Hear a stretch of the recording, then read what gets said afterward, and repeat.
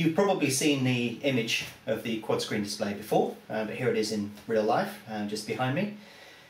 The, I, as you can see at the moment, the configuration I've got it set up on today is I've got two live feeds coming in on the top and I'll be trading on the bottom two screens. And over on my right here, we have um, a laptop and the laptop is there purely as a backup. I think you can actually trade quite comfortably off of a laptop, preferably with an extra screen.